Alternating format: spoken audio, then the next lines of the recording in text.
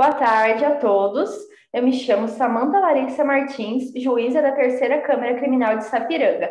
Estamos diante do processo número 1657 de 2021. O Ministério Público do Estado do Rio Grande do Sul promoveu em face de Boris Skalowski.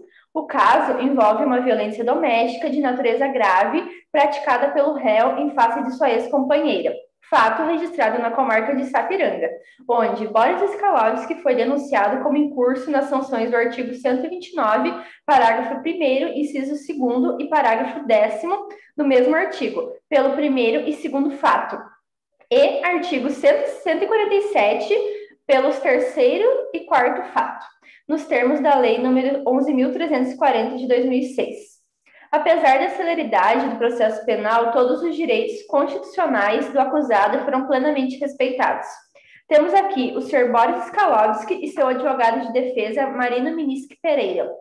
E a, a, acusação, o Ministério Público, representado por Luna Amiento, hoje, dia 8 de julho de 2021. Vamos começar a audiência confirmando a presença da testemunha. Por favor, o senhor Carlos Luiz Schuch está presente?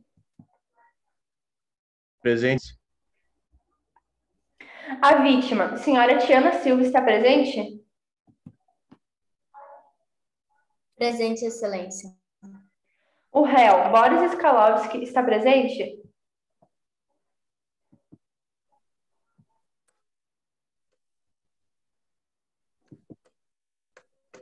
Presente, Excelência. Pronto, todos estão presentes, podemos dar início à audiência. Irei confirmar, confirmar os dados da vítima Tiana. Seu nome é Tiana Silva, seu RG 58 69 59 21 445, nacionalidade brasileira, solteira, profissão dona de casa. Nasceu em 15 de 4 de 1989, natural de Caçapava do Sul, filha de Maranê Silva e Júlio Petrite, residência na rua Colina 214, bairro Astral, Sapiranga? Dados corretos, Excelência. Bom, com a palavra, o Ministério Público para suas perguntas. Senhora Tiana, tudo bem? Tudo bem, na medida do possível. Uhum. Ah, como vocês se conheceram, senhora Tiana? Nos conhecemos em uma festa de um amigo em comum, o aniversariante, há mais ou menos dois anos atrás. Uhum. E quanto tempo a senhora e o réu conviveram juntos? Depois da festa de aniversário do nosso amigo, começamos a conversar por telefone. Ele me parecia ser uma pessoa encantável. Ficamos juntos cerca de um ano. Uhum. E a partir de quando o réu mostrou-se agressivo? Se recorda? Sim, estávamos juntos cerca de seis meses, quando tudo começou as idas em festas, passeios no parques, até em festas de aniversários da família. Tudo era motivo de ciúmes para brigar. Uhum. A senhora convivia com medo do Sr. Boris? Sim, as brigas e agressões começaram há cerca de seis meses juntos. A partir daí, eu não tive mais paz. Eram brigas constantes, ciúmes, até de eu ir à padaria comprar pão. Ameaças de que eu não podia deixá-lo. Até que depois de 10 meses juntos, eu tive coragem e o deixei. Uhum. No dia 4 de abril, por que ele discutiu com a senhora? Ele apareceu na minha casa do nada, estava bêbado e muito agressivo, me empurrava e falava que eu não podia largar ele. Disse que se eu não era dele, não serei de mais ninguém. Eu pedi para ele se afastar, que não tínhamos mais nada, e ele começou a falar que eu tinha outro, me chamou de vagabunda e disse que ele não ia deixar assim. Uhum. Então a senhora vivia sob ameaças constantes? Sim, eu nunca tive outro. Mas ele acha que porque não aceito mais estar com ele e apanhar dele, eu tenho que estar com outro. Seis meses para cá, ele se tornou agressivo e me ameaçou constantemente, alegando que eu tinha outro, que eu era puta por andar com roupas que ele achava curta e desde então vivo com medo.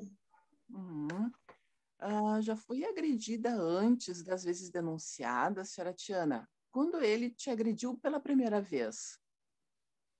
Sim, foi uma vez logo no início. Ele pediu desculpa e perdoei. Achei que tinha sido errada ao discutir com ele e achei ser culpa minha ter levado um soco dele, pois ele se ajoelhou, pediu perdão e disse que não era assim, que amava e que eu tinha causado a agressão. E a senhora ainda está com hematomas? Sim, os Então hematomas também aparentes aqui. Uhum. Sim, sim. E por quanto tempo e por qual motivo aconteciam essas agressões? As agressões aconteceram por vários motivos: ciúmes, alcoolismo, imaginações criadas por ele. Uma vez me agrediu porque o time dele perdeu. Disse que eu era pé frio. Nessa ocasião, disse que eu não crescia na vida, pois tinha uma mulher inútil ao lado dele, que só queria se exibir que nem uma vagabunda para os amigos dele. Uhum. Então, a maior parte das agressões aconteciam por motivo torpe e fútil. Sem mais, sem mais perguntas, Excelência. Muito obrigada, senhora Tiana. Bom, agora com a palavra, o advogado de defesa para as suas perguntas. Boa tarde, senhora Tiana. Uh, como era a relação do réu com a sua família? Eu não tinha uma convivência muito sadia com a família. Por isso, ele tinha quase contato com eles. Mas quando tinha, agia sem esboçar seu lado, lado agressivo. Na sua opinião, o que deixava ele com mais ciúmes ao ponto de ameaçar a senhora? Tu acha que tinha alguma relação? O medo de ser traída e a falta de confiança. Tudo isso gerava imaginações falsas na cabeça dele. E por que eu perceber que o réu estava se tornando cada vez mais agressivo? Por que ele não te afastou dele se ele era tão agressivo como a senhora? Como referi anteriormente, eu não tinha proximidade da minha família. E meu pai era muito rígido e tinha também traços de agressividade. Não havia para quem recorrer, e por isso aguentei por tanto tempo. Era difícil para mim falar com pessoas de fora, com ciúmes e agressividade dele. Então, tu acha que nunca provocou ele? Tu acha que alguma vez chegou a provocar? Não, eu sequer conversava com outras pessoas, por medo do ciúme excessivo dele. Uh, se de fato uh, você cita, então, que ele lhe agrediu, tu acha alguma vez alguém já presenciou para que possa testemunhar? Uh, alguém já viu ele atirar? Os vizinhos já presenciaram algumas brigas e empurrões. Até que um dia um vizinho chamou a polícia por causa da nossa discussão. Nesse dia, quando passaram com a viatura para ver a situação, eu já, já havia sido agredida e ele já havia ido embora. E no dia em questão, uh, em que a senhora foi agredida, tu se encontrava sozinha? Não haveria ninguém nessa outra localidade, sim, se fosse o vizinho? Sim, em todas as vezes que registrei, no dia 4, ele me acordou e a vizinhança viu, pois era cedo da manhã. Eu estava sozinha e acredito que a situação me deixou mais indefesa. Obrigado. Sem mais perguntas, Excelência. Chamo a testemunha de acusação, Carlos Luiz Schuch. Bom, eu irei confirmar os dados da testemunha de acusação. Seu nome é Carlos Luiz Schuch, sua RG 90 68 75 1467, nacionalidade brasileiro, solteiro, profissão policial militar da Brigada de Sapiranga, nasceu em 25 de 4 de 1985, natural de Novo Hamburgo, Rio Grande do Sul, filho de Maria Dias e João Dias, residência na rua Jader Maurício Teixeira, 433, bairro Floresta? Confirmo, excelência. Senhor Carlos, o senhor é amigo ou inimigo do réu? Tem interesse na causa? Não sou amigo nem inimigo do réu e não tenho interesse na causa, excelência. Então, neste momento, eu estarei tomando o compromisso do senhor de dizer a verdade sobre tudo que lhe for perguntado, sob a pena de incorrer no crime de falso testemunho, ok? Eu juro não faltar com a verdade, excelência. Bom, com a palavra, o Ministério Público para suas perguntas. Senhor Carlos, relate o que aconteceu no dia, de fato. Bom, a vítima, Tiana, ela procurou a Polícia Militar da comarca de Sapiranga, né, no dia 5 de maio de 2021, onde ela nos contou os relatos, né, que abarcam a sua denúncia, tá? onde se desenvolve é, esse relato a partir de quatro fatos, na verdade, e eu vou explanando eles, então, um a um. Tá? O primeiro fato é, ele ocorre no dia 4 de abril de 2021, por volta das 7h40 da manhã, né, na rua Carlos de Macedo, número 137, na comarca de Sapiranga, onde o denunciado, o Boris, é, ele acaba ofendendo a integridade corporal da, da Tiana, né, sua ex-companheira, e, por conseguinte, ele acaba, então, causando lesões graves na vítima. Na ocasião em tela e durante uma discussão com sua ex-companheira, é, o denunciado ele acaba atirando a Tiana contra um sofá, que faz com que ela caia no chão é, e machuque sua cabeça. Tá? É, cabe dizer também que, que ocorreram é, lesões graves durante esse, esse ato, é, e elas estão todas descritas no auto de exame de corpo de delito. Tá? O segundo fato, é, ele ocorre nas mesmas circunstâncias de tempo e local que eu descrevi anteriormente, é, e foi logo após o primeiro fato, onde o Boris, durante a discussão com a sua ex-companheira, dessa vez por motivo de ciúme, né, ele acaba pegando então a vítima pelos cabelos e desferindo socos na sua cabeça. É, o ato contínuo, enquanto a vítima ainda tentava se levantar, é, ele arrasta de joelhos pelo chão, é, o que acarreta em lesões graves que também estão descritas no auto de exame de corpo de delito. De delito. Tá? As lesões que foram praticadas é, pelo, denunci pelo denunciado contra sua ex-companheira acabaram, na verdade, resultando em perigo de vida, né? Eis que é, poderiam resultar em hematoma intracraniano e até mesmo óbito. É, seguindo, então, o terceiro fato que abarca a denúncia, é, ele também se desenrola sobre as mesmas circunstâncias de tempo e local, é, e também ocorre após o segundo fato que eu acabei de narrar. Né? No, no, terceiro fato, Boris, então, com vontade livre e consciente, ele acaba ameaçando a Tiana, tá? prometendo-lhe causar mal e injusto é, e grave na medida em que, séria e idôneamente, com o intuito de incutir medo e intimidar, ele externa, então, a vontade de matá-la. Tá? Na ocasião em tela, uh, logo depois dos primeiros e segundos fatos, o denunciado, é, na posse de uma arma branca, que é uma faca, ele afirma, então, para a vítima que iria matá-la. E o quarto fato, por fim, este em horário não suficientemente esclarecido, é, mas algo horas do dia de abril de 2021 e 18 horas do dia de local também não informado nos autos, é o Boris, com vontade livre e consciente, ameaça ex né, prometendo-lhe causar mal injusto e grave na medida com o intuito de incutir medo, intimidar externou a vontade tal. Na mesma oportunidade, o denunciado ele liga para o telefone da vítima, proferindo ameaças contra ela, afirmando que para ela era para ela tirar a queixa, senão ela sabe o que iria acontecer com ela, e salientando ainda que não há conversa e que não estava brincando. É, diante da cena em tela, então, a Tiana encorajou-se né, e procurou delegar comarca tratando então todos os fatos, é, reabrindo a denúncia que estamos a prosseguir. Muito obrigada. Não tem as perguntas. Com a palavra, o advogado de defesa para suas perguntas.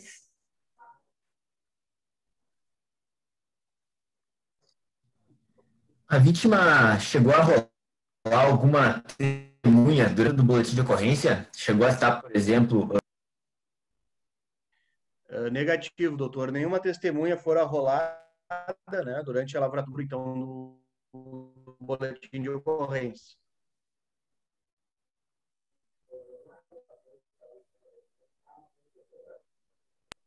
Uh, na situação em que ela. Uh, positivo. Ah, quando ela foi, então, é, realizar a sua, o seu boletim de ocorrência, ela estava sendo acompanhada por sua genitora né, na Delegacia de Polícia de Pronto Atendimento da comarca aqui de Sapiranga. Só um minuto, senhor Marinho. Então... O senhor, por gentileza, pode repetir a última pergunta que falhou aqui, eu não consegui ouvir? Com certeza, excelência. Uh, alguém estava acompanhando a vítima na delegacia no dia do Positivo, doutor. A vítima foi acompanhada pela sua genitora na Delegacia de Polícia de Pronto Atendimento da comarca de Sapiranga.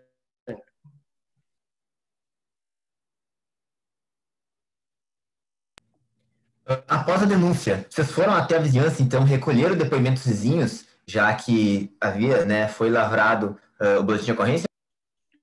Positivo, doutor. Então, realizada a denúncia, né, iniciou-se os trâmites de estilo que abarcam, né, entre outras providências, é, o recolhimento dos depoimentos dos vizinhos. Tá?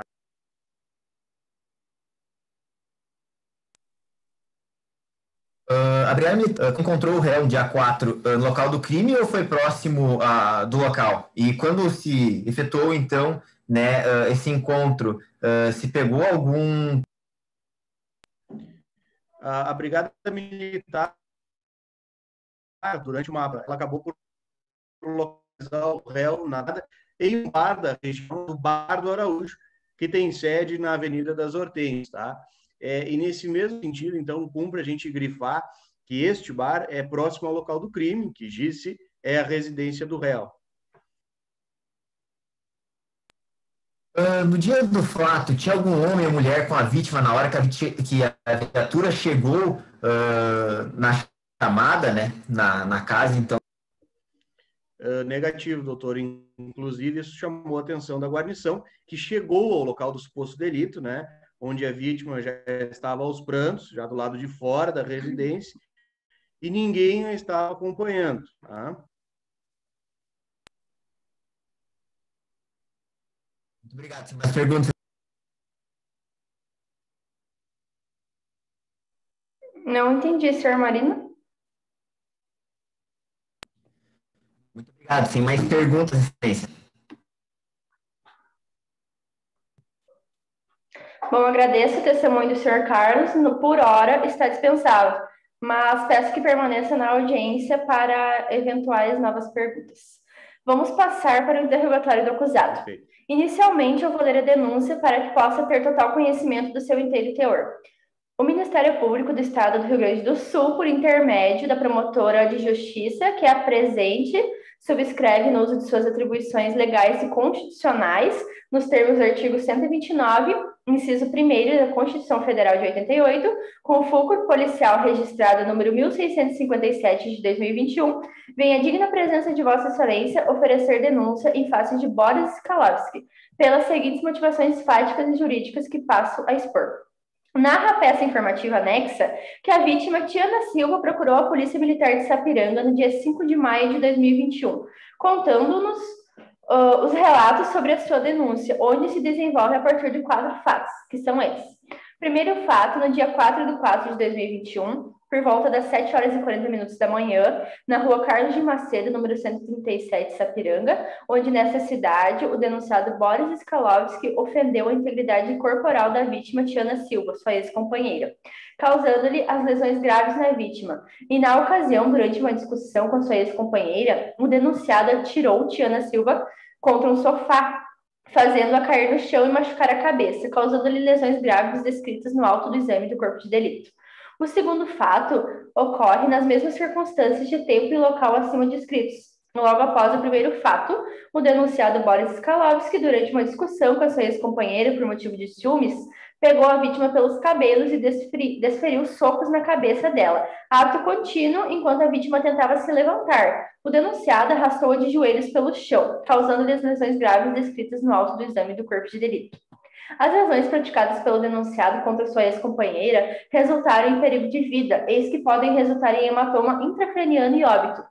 O terceiro fato ocorre nas mesmas circunstâncias de tempo e local acima descritos, logo após o segundo fato. O denunciado Boris Skalowski, com vontade livre e consciente, ameaçou a sua ex-companheira Tiana Silva, prometendo causar-lhe mal injusto e grave, na medida em que séria e idôneamente, com o intuito de incutir medo e intimidar, externou a vontade de matá-lo. Na ocasião, logo depois do primeiro e segundo fato, o denunciado, na posse de uma faca, afirmou para a vítima que iria matá-la. Quarto fato. Em horário não suficientemente esclarecido, mas entre as 10 horas da manhã do dia 11 de abril de 2021 e as 18 horas do dia 21 de abril de 2021, em local não informado nos autos, o denunciado Boris Skalowski, com, vontade livre e consciente, ameaçou sua ex-companheira Tiana Silva, prometendo causar-lhe mal injusto e grave, na medida em que séria e idôneamente com o intuito de, curtir, de incutir medo e intimidar Ele externou a vontade de matá-la. Na oportunidade, o denunciado ligou para o telefone da vítima, proferindo ameaças contra a mesma e afirmando que era para ela, abre aspas, tirar a queixa, senão ela sabe o que iria acontecer. Fecha aspas, salientando ainda que não há conversa e que não estava brincando. Diante disto, Tiana encorajou-se e procurou a delegacia de polícia de Sapiranga, relatando todos os fatos narrados acima e abrindo a denúncia que aqui estamos a prosseguir. A materialidade se encontra devidamente comprovada, considerando o auto de exame do corpo de delito, pelo boletim de ocorrência e pela prova testemunhal, que, analisou, que analisados em conjunto, oferecem suporte para poder concluir a sua ocorrência. Bom, eu devo advertir o senhor que a Constituição garante o direito de permanecer em silêncio. O senhor não é obrigado a responder as perguntas e mesmo seu silêncio não seja tomado em seu prejuízo. É um direito que o senhor tem. Eu informo e advirto o senhor também que, apesar do seu direito de silêncio, o interrogatório, além de ser prova nos autos, ele também é uma oportunidade para que o senhor possa estar exercendo a sua defesa pessoal e apresentar as suas versões dos fatos, ok? Irei confirmar os dados, os dados do senhor. Seu nome é Boris Skalowski, sua RG 7066 92 15 42, nacionalidade brasileiro, solteiro, profissão farmacêutico, nasceu em 30 de 12 de 1995, natural de Campo Bom, Rio Grande do Sul, filho de Indra Maria Guzmão e Richard Skalowski, residência na rua Galder Neto, número 289, bairro Alto Paulista?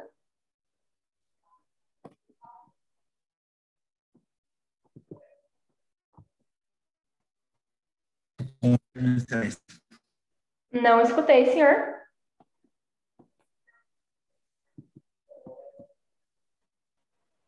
Correto, confirma. Bom, senhor Boris, o senhor já foi processado alguma vez? Se sim, qual foi o delito?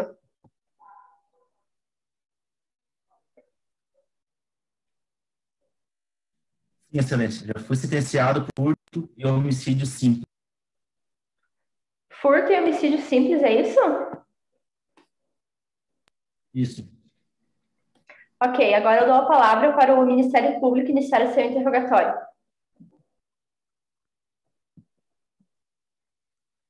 Ah, por que o senhor foi procurar a senhora Tiana no dia 4 de abril? Eu procurei a Tiana, pois queria me reconciliar. Eu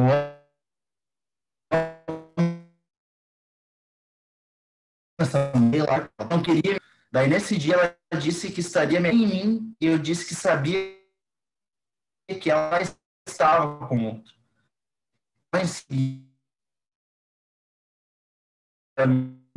disse que eu não sabia que eu não era, eu fiquei irritado com aquilo, mas sigo amando ela. Senhor Boris, eu não consegui escutar a sua resposta. Senhor, por favor, pode repetir. Eu acho que a sua internet está bem instável, mas pode repetir, por favor, a resposta. Excelência. Eu fui procurar a Tina, a Tiana, desculpa, pois queria me reconciliar. Eu amo essa mulher. Cheguei lá e comecei a conversar com ela. Mas ela não queria me ouvir e disse que não me queria mais. O tempo eu já, já duvido que ela possa estar com outro. Daí, nesse dia, ela disse que estaria melhor sem mim, e eu disse que sabia que ela já estava com outro. Ela em seguida me empurrou e disse que eu não sabia de nada. E em seguida disse que ia me mostrar que eu não era homem de verdade. E eu fiquei irritado com aquilo, mas sigo a... Uhum. Senhor Boris, o senhor costuma ameaçar pessoas com facas ou utiliza outros tipos de arma? Até excelência, está a, a minha testemunha Protesto aceito, favor retirar dos autos. Prossiga. Tudo bem. Uh, eu vou mudar então a forma de perguntar. O senhor tenta tirar a vida de mulheres com facas ou outros tipos de armas? Em silêncio. Protesto. Ela está tentando induzir o réu. Protesto negado. Respondo o réu, se quiser.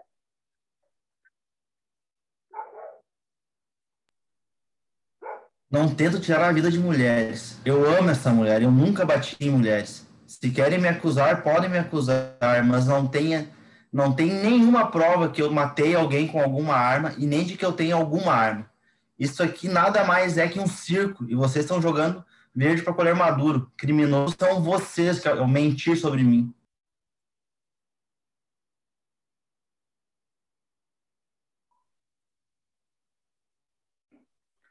Sr. Boris, pode repetir a sua resposta? Não consegui escutar. Sim, Excelência. Não tento tirar a vida de mulher nenhuma. E amo essa mulher. Eu nunca bati em mulheres que querem me acusar, mas não tem nenhuma prova de que eu matei alguém com alguma arma e nem que eu tenha alguma arma. Isso aqui nada mais é do que um circo e vocês estão jogando verde para colher maduro. Criminosos são vocês ao mentir sobre a minha pessoa. Sr. Boris, por favor, se acalme. Se o senhor insistir nessas alegações injúrias para com o tribunal, eu terei de enquadrar no artigo 331 do Código Penal por desacato à autoridade. Ministério Público, por favor, prossiga. Uhum. Um, entre as 10 horas do dia 11 de abril de 2021 e às 18 horas do dia 21 de abril de 2021, o senhor pode me explicar o que significa, conforme as suas ameaças ao telefone para a senhora Tiana, abre aspas, tirar a queixa, senão ela sabe o que ia acontecer com ela, fecha aspas. O que iria acontecer com ela, senhor Boris? Essa mulher tá fazendo eu ficar com fama de corno no bairro. Eu não podia deixar essa sair falando de mim e me difamando. Só falei para ela parar, nunca tocaria nela. E conforme narrado, conforme o segundo fato, uh, pegou a vítima pelos cabelos e desferiu socos na cabeça dela. Ato contínuo, enquanto a vítima tentava se levantar. O denunciado arrastou-a de joelhos pelo chão, causando-lhe lesões graves. Por qual razão? O que leva um ser humano que diz amar a agir com tanta agressividade? Ela gritou comigo, fiquei irritado. Falou que eu não era homem e eu assumo, perdi a cabeça e empurrei. Mas ela estava a me trair, queria que eu fizesse o quê? Ela precisava me respeitar, ela é minha. Obrigada. Não tenho mais perguntas.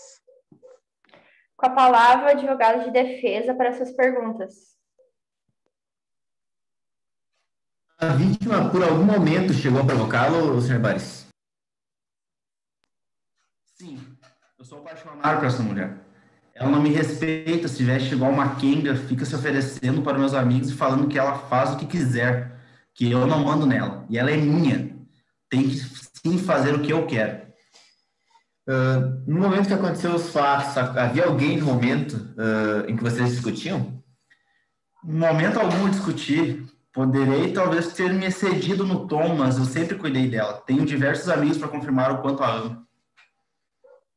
Uh, a vítima ela já chegou ao ponto de agredi-lo ou de alguma, ou alguma vez chegou a ameaçá-lo? Já sim. Ela ela disse que ela também tinha amigos que, se ela quisesse, ia mandar eles me dar um pau. Nesse dia, disse que não tinha medo deles e que estava na hora dela me respeitar. Interessante. Uh, e você pode narrar exatamente o que aconteceu no dia 4 de abril, como citado? Sim. Bebi um pouco a mais, estava levemente alterado. Após sair do bar, eu fui em nossa casa e pedi para ela voltar para mim. Disse que a amava e ela abriu a porta e saiu de roupão. Me disse para mim ir caiu fora em outra sarjeta. Que ela não queria um bêbado escroto ali, que ela merecia coisa melhor e que não me queria mais. Vi que ela tava com um roupão que ela não tinha. Daí entrei no, no pátio para falar com ela e ela disse que era para mim me arrancar dali. Quando cheguei perto, eu vi que ela não, não estava fedendo a perfume masculino, queria entrar na casa e ela me empurrou. Daí eu empurrei ela e falou que não tinha ninguém. Então eu empurrei em seguida, segurei pelo braço e perguntei se tinha virado vagabunda. Nisso o vizinho abriu a janela e ela cuspiu em mim. E se jogou no chão e em seguida fui embora. Tem as perguntas, excelência. Passa a palavra para o Ministério Público para razões finais. Ah, Peço à juíza que, com base nos artigos que surge o Ministério Público quanto à condenação do réu, sustentando que a denúncia referente ao primeiro e segundo fato foi pelo crime de lesão corporal grave, conforme o artigo 129, parágrafo 1 inciso 2 do Código Penal. Enquanto que a condenação foi de lesão corporal leve, artigo 129, parágrafo 9 do mesmo diploma legal. Ante os elementos de prova coligidos, merece ser reconhecida a lesão corporal grave praticada contra a vítima Tiana Silva, resultando em perigo de vida para a mesma. Ora, um apelado agrediu a vítima em região vital, sendo a ex-companheira arrastada pelos cabelos mediante socos na cabeça. Desta forma, verifica-se que o conjunto probatório se mostra suficiente para a condenação do réu, referente aos fatos primeiro e segundo da denúncia, pelo delito previsto no inciso segundo do primeiro parágrafo do artigo 129 do Código Penal, lesão corporal de natureza grave, pelo fato de tê-la ameaçado de morte enquadrado no artigo 147, que ameaçar alguém por palavra, escrita ou gesto, por qualquer outro meio simbólico de causar-lhe mal injúria grave, pena de detenção um a seis meses ou multa. Passa a palavra para o advogado de defesa para as suas razões finais. Excelência, eu peço a dissolução do réu com base no princípio do indúbio pro réu. Uh, segundo defende o artigo 386, uh, inciso 7 do Código de Processo Penal, combinado com o artigo 155 do Código de Processo Penal, haja vista que a denúncia encontra-se amparada somente no exame de corpo de delito, prova na qual aponta sim a existência da materialidade do crime, porém não aponta de forma significativa o réu como autor das agressões. Ademais disso, não houve testemunhas que presenciaram supostamente as agressões, pois a testemunha arrolada pela acusação não presenciou os fatos criminosos alegados e nada revelou o fato relevante que possa, então, incriminar o acusado. E, por fim, não sendo suficiente, o conjunto probatório, então, do Ministério Público, né, que embasa o pedido uh, do, de condenação do, do réu e, né, portanto, meu cliente. Bom, o, o tribunal está em recesso por 15 minutos após voltem para a minha decisão.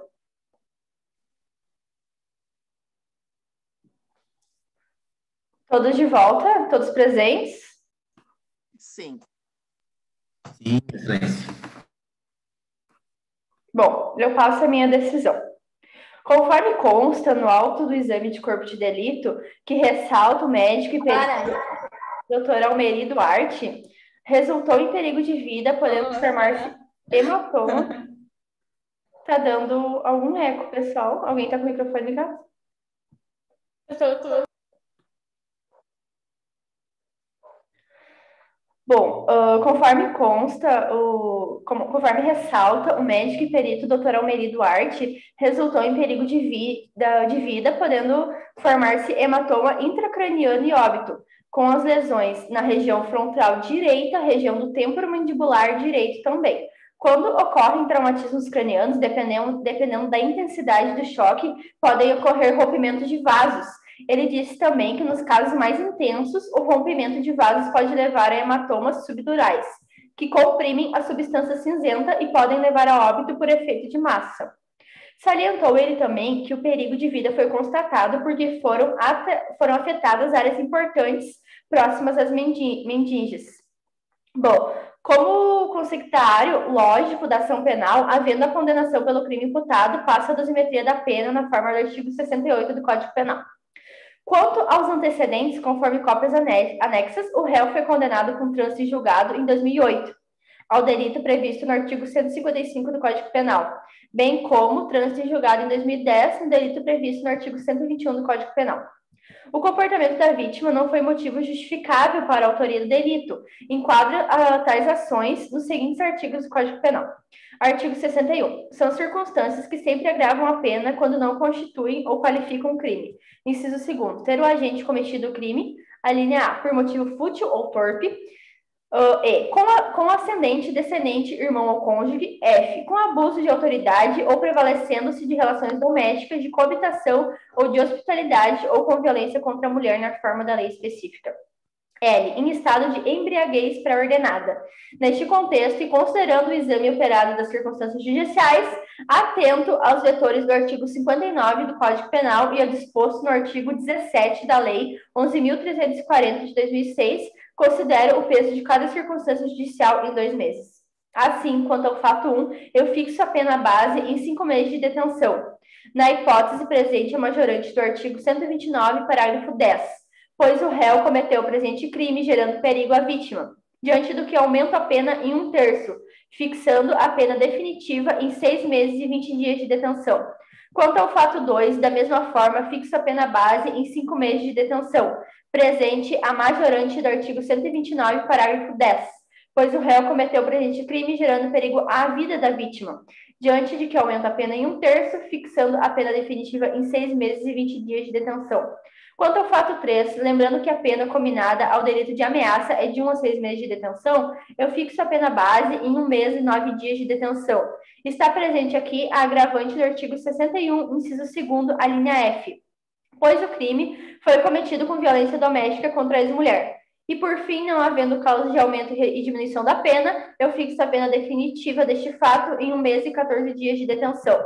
No tocante ao fato 4, eu fixo a pena base em um mês e nove dias de detenção. Está presente a agravante do artigo 61, inciso 2, a linha F. E por último, ante o reconhecimento do concurso de crimes, na forma do artigo 69 do Código Penal, efetuo o somatório das penas, resultando a pena definitivamente fixada ante a ausência de outras causas modificadoras em um ano, quatro meses e oito dias de detenção.